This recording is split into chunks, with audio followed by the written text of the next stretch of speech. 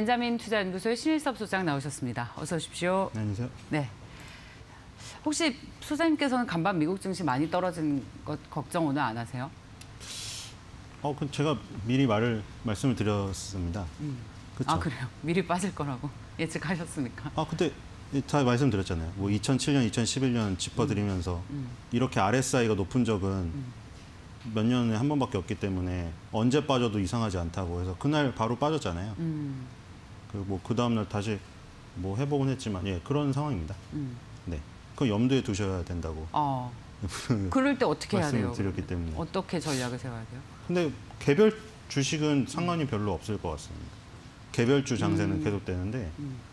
이제 그 삼성전자가 문제인 거죠. 음. 말씀드렸다시피 6만 원대를 향해서 가고 있잖아요.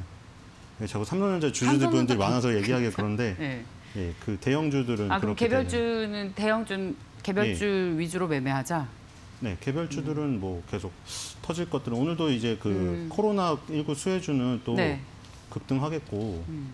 그 여름 수혜주 있잖아요. 폭염 때문에 또 그런 것들은 또 움직일 것 같아요. 음, 오히려 이렇게 전반적으로 시장이 지수는, 좀 네. 우려가 클 때는 그런 개별주가 대안이 될 수 있다. 네, 지수는 지금 어떤 핑계로도 빠져도 이상하지가 않은 상황이거든요, 지금. 음, 그 델타 변이 바이러스 핑계를 삼았더라고요. 델타 변이 바이러스 때문에 빠졌을까요? 많이 올라서 빠진 것 같은데요. 그것도 그렇고 일단 미국에서는 국채 금리가 1.2%까지 떨어진 건 지금 경기 회복이라는 것에 대해서 아예 아예 우려가 생긴 거니까 의심 자체가 생긴 거니까 회복 국면을 쭉 가는 게 아니라 아예 이, 그 철로에서 이탈한 게 아닌가 회복이 아닌 게 아닌가라는 걱정이 생긴 거죠. 음, 그렇죠. 예, 그 델타 변이라는 이슈로 인해서 국채 금리가 아예, 아예 많이 떨어진 것이 지표로 나타난 것 같습니다. 네. 그리고, 뭐, 예. 그리고 물가 인상 뭐 그 얘기 핑계 많이 삼잖아요. 물가가 너무 올라서 금리로 잡을 거다. 근데 그 금리 인상이라는 거는 되게 좋은 건데 아세요? 금리 금리를 인상한다는 거는 나라에서 확인 보는 해주시는. 거예요. 예. 경제 그 자. 경기가 너무 좋아서 우리가 자신감이 넘치기 때문에 금리 인상을 한다 선언을 하는 순간 경기는 완전히 회복세에 접어들어가지고 초호황 실적 장세가 와서 폭등을 해요 주시장. 금 저기 금리 인상을 해서 빠진다는 거는 일시적인 그 있잖아요. 뭐 금리 인상을 해가지고 이제 그렇죠. 기업들이 조달 금리가 늘어나가지고 돈을 못 빌리고 그거는 뭐라 그럴까 공식 같은 그냥 그런 건데 네. 그런 공식과 주식시장의 그거는 다르다. 그래서 물가 인상하고 그건 좀그 물가 물가 인상이 안 되잖아요. 기본적으로 인플레이션이 없잖아요. 그러면은 사람들이 다 일을 안 해요. 집에서 잠, 발 뻗고 주- 삶을 포기하고 다 잠을 자버려요. 아니 이거 내 임금도 안 오르고 물가도 안, 인상도 안 되고 물건 가격이 안 오르면은 내일부터 노동자들이 일을 안 하죠. 네.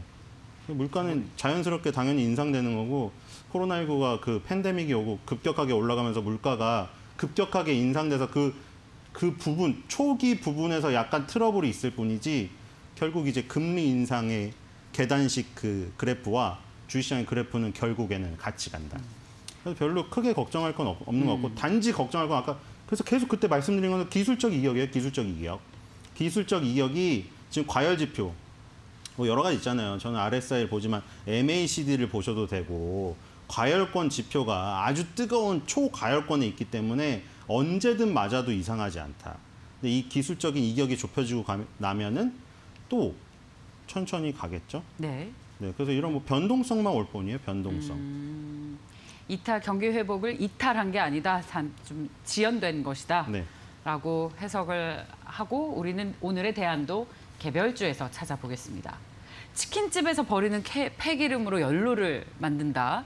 여기서 투자 아이디어를 찾으셨다고요? 네. 아, 아이디어 기본 사실 다 나와 나와 있어요. 결론적으로 좀 나와 있긴 한데 왜냐면 지- 주가가 다 반영이 돼서 올라가긴 했어요. 음, 근데 이제 그 이게 왜 중요해지냐면 항상 정책적으로 받침이 일어나면 그게 되게 좋아지잖아요.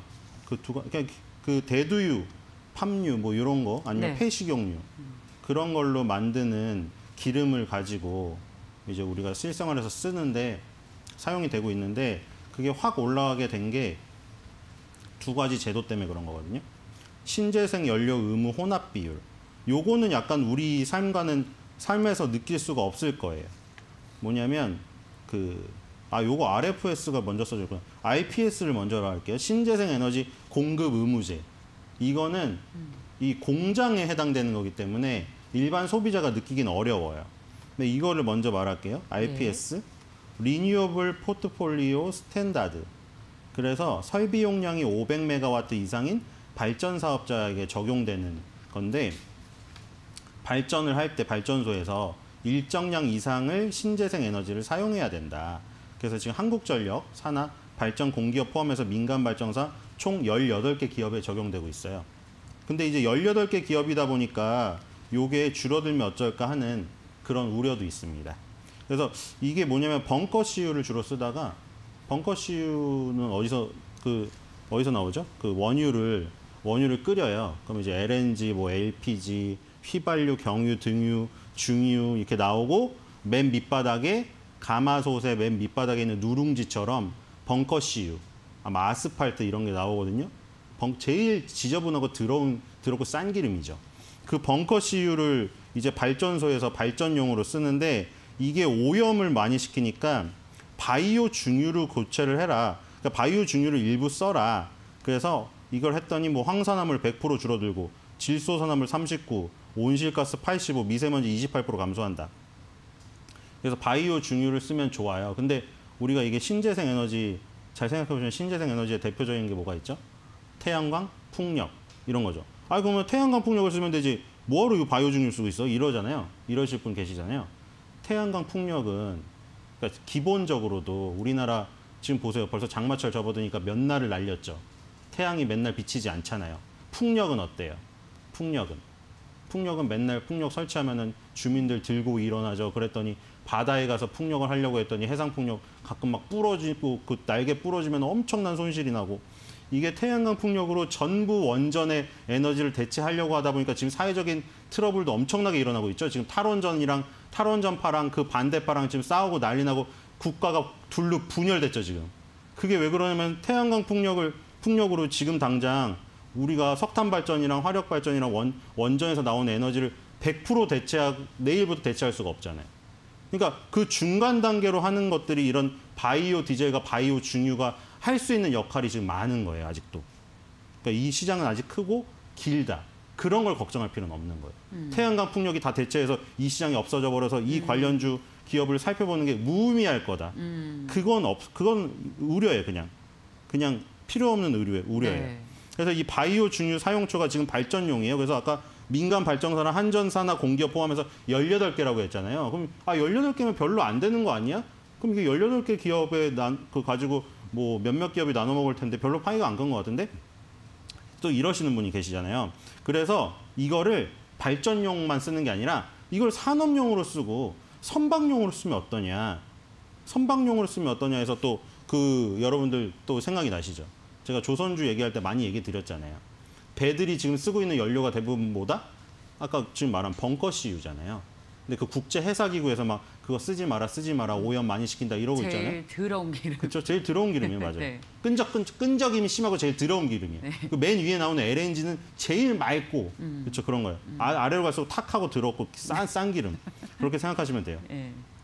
그거 맞잖아요. 밥이 배 제일 비싸고 누룽지는 거의 격가지로 팔고 있잖아요. 아, 저 근데 한정식 집 가시면 맛있지 않아요? 맛은 있죠. 누룽지는 맛있는데 이거는 네. 맛이 없어요. 그래서 들어오니까 아스팔트 깔고 있죠. 맨날 갈고 아스팔트 깔고 데 아스팔트 냄새 진짜 심한 거 아시죠? 예, 환경 오염도 많이 환경오염도 되고. 많고 그거 폐에 붙으면 진짜 안 돼요. 음. 아, 지울 수가 없어요 폐는. 어. 그래서 이거를 선박용으로 확대하면 어떨까?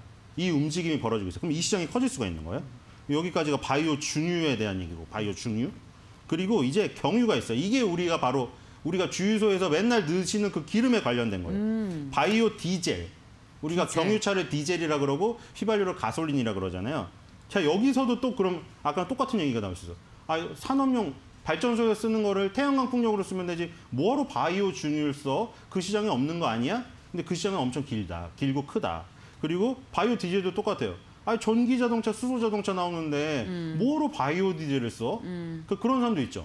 전기차, 수소차 시대가 내일 바로 오지가 않아요. 네. 지금 바- 수소차, 전기차 안 사시는 분 되게 지금- 싫어하시는 분도 많아요. 지금 타는 차는 또 어떡할 거예요?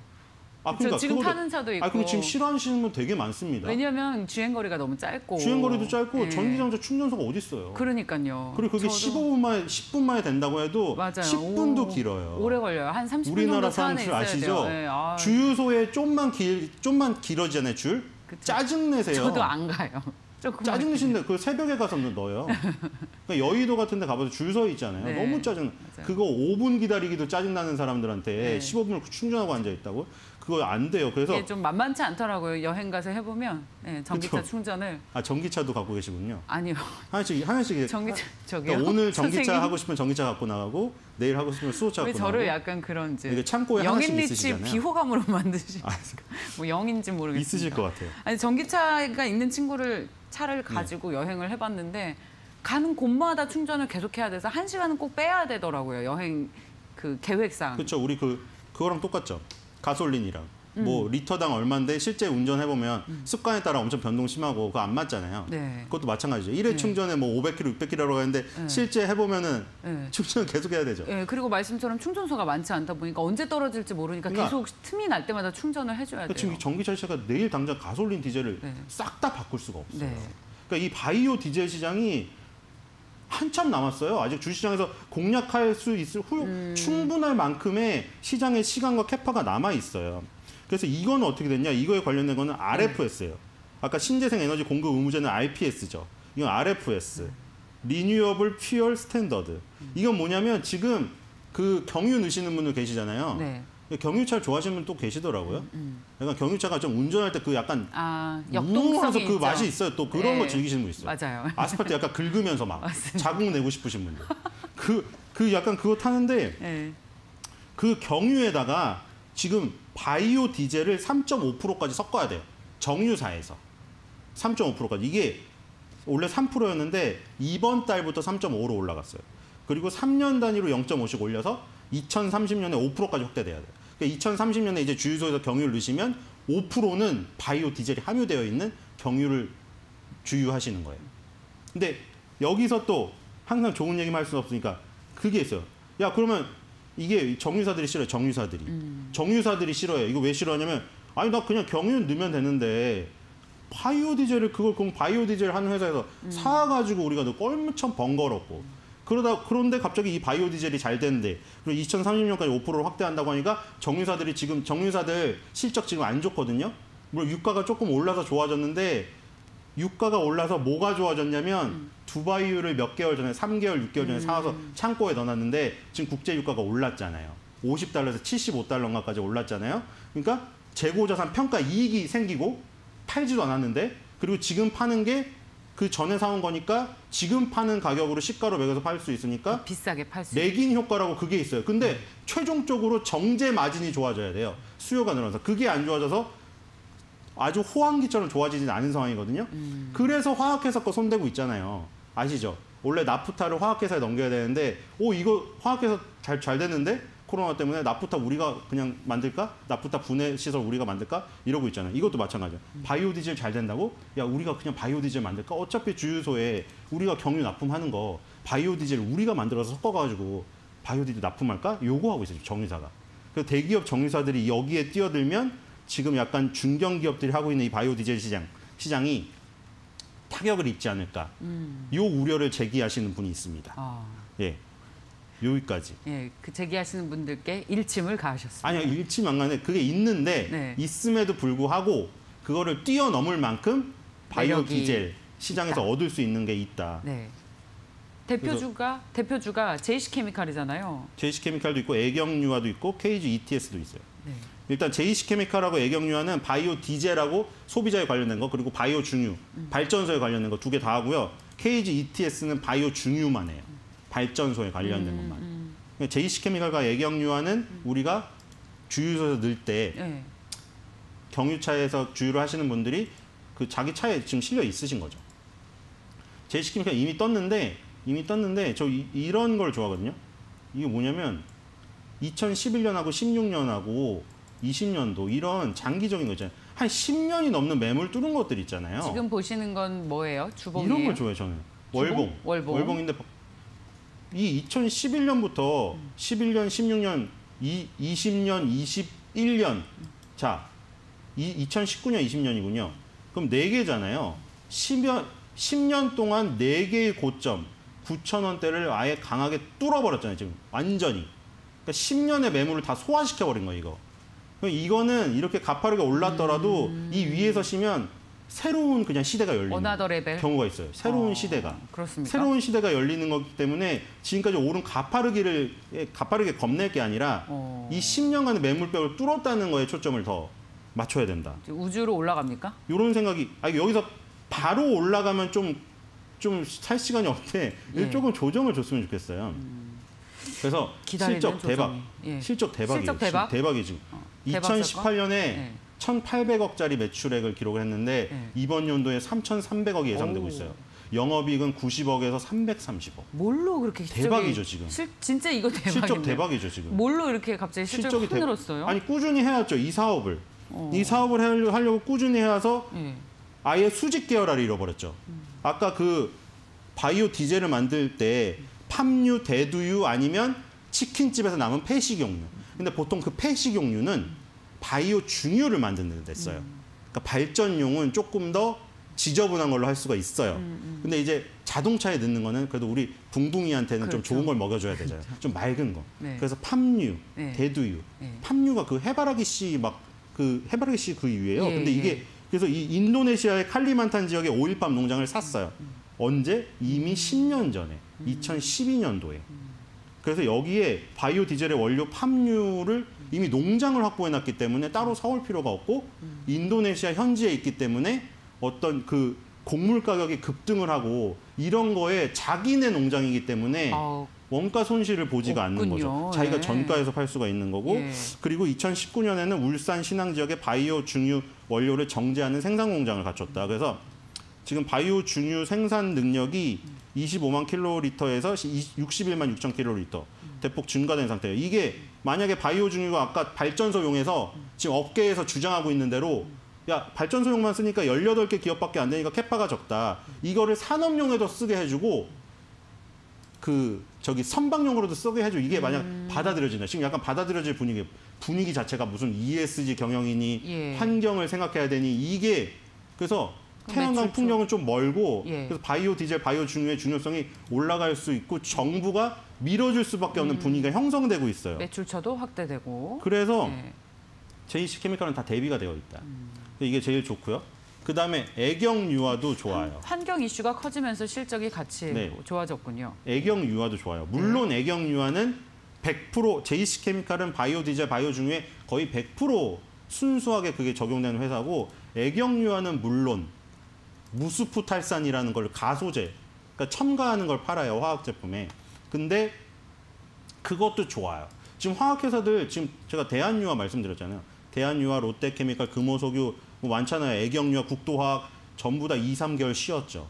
지금 2, 3개월 맞아요. 쉬어가지고 그림이 지금 화학회사가 너무 좋아졌어요 지금.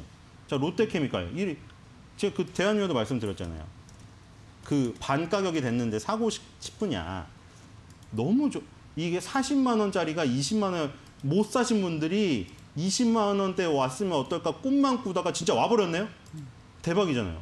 롯데케미칼도 35만 원 넘어서 가버리면 어떡하지? 아, 애경유화도 또 대박입니까? 가버렸네요. 금호석유도 아 쉬었네, 쉬어졌네요. 금호석유도 가버리면 어떡하지 했는데 오 쉬어졌네. 이게 이게 어. 웬 떡이야? 20만 원대 가버렸네. 다 지금 다 이래요. 네. 화학회사들이 애경유화도 아 이거 2만 원 가버리면 어떡하지? 했는데 12,000원이었네. 화학회사 다 떡이에요 지금. 이게 웬 떡이냐요 지금. 아, 또 그 떡이요. 그렇죠. 이게 웬 떡이냐? 저 화학회사 떡이라는 이게 웬 떡이 중의적인 의미라서. 이게 왜 그러냐면 아까 예. 정유회사 때문에 그래요. 예. 정유회사가 화학회사에 하는 게 정유회사가 자기네께 안 되니까 네. 영업이익률이 3%밖에 안 나와요. 예. SO 이런 데가.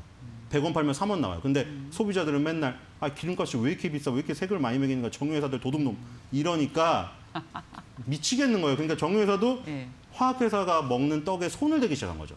야 이거 나프타 그냥 우리가 정제해서 예. 우리가 에틸렌 프로필렌 만들면 되지 뭐하러 화학회사를 줘. 네. 화학회사 장사 잘 되는데 그 증설 이슈 때문에 다 빠진 거예요. 대한유화, 롯데케미칼, 뭐 금호석유, 애경유화, 국도화. 근데 그 우려가 너무 반영이 돼서 기술적 이걸 다 좁혀놓은 상태라 네. 실적은 지금 다 최고거든요. 화학회사가. 네. 2분기도 다 최, 최고를 찍을 거예요. 근데 주가만 이걸 좁혀놨기 때문에 너무 좋은 거죠. 거기에다가 플러스 알파로 바이오 디젤과 바이오 중유까지 있다. 2018년에 애경유화도 바이오 디젤 생산 능력 3만 톤 증가시켜서 13만 톤 만들어 놨고 발전용으로 쓰는 바이오 중유 생산 능력도 17만 톤 갖춰 놨다. 그렇죠? 그러니까 애경유화는 본업인 화학 쪽 마진도 좋아지는 데다가 기술적 이익을 좁혀 놓은 데다가 바이오 디젤 중유까지 갖추고 있다. 네. 그렇죠? 이 마지막 KG ETS 이건 너무 올라가지고 좀 그래요. 좀 그런데 얘네도 2018년 6월 달에 CS 에너지라는 바이오 중유를 하는 회사의 지분을 100% 인수했어요. 그러니까 지금 KG ETS가 제일 많은 비중을 차지하고 있는 거는 폐기물 처리고 그 다음 바이오 중유 요거예요.